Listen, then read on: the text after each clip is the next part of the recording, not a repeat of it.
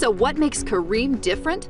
Unlike other mobile-based driving apps like Uber, Careem allows passengers to pre-schedule their rides. The company focuses on the passenger's experience in the car. Careem drivers aren't just drivers, they're captains. And because different markets come with different currencies, financial infrastructure, regulations, and even workforce, Careem has had to be nimble and adapt quickly. What it boils down to is uh, really understanding local problems and solving them. So when we first started, we were serving consultants and bankers who were traveling the region. And reliability is a, is a massive requirement, and very high reliability.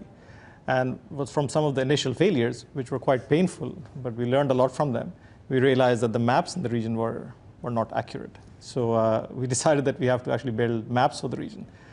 Then we decided that even when we had the maps, there were times when a lot of the captains who come from places like Pakistan and India were not able to speak in the same language as the customers. So communication was a bit of a barrier. So we set up a call center through which we could intermediate that communication and make that more effective. So we set up the call center, not just to help customers, but also to help captains.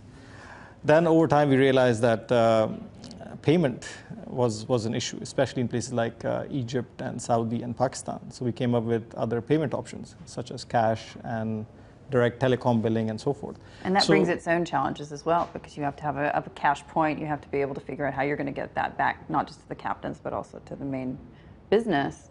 Absolutely. Talk to me a little bit about those kinds of challenges. Yeah.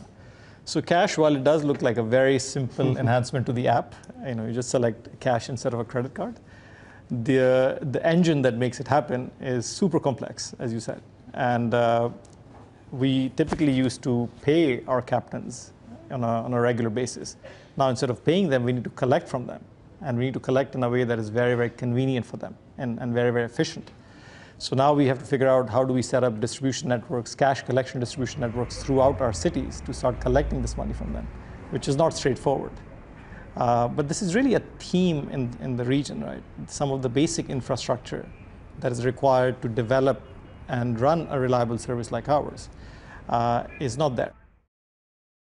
Hey CNBC fans, thanks for checking out our YouTube channel. Here you're going to find videos packed with all of the information that you need to be smarter about your finances. You can subscribe by clicking right here and click on all the videos around me or the eye right here to watch the latest from CNBC. Thanks for watching.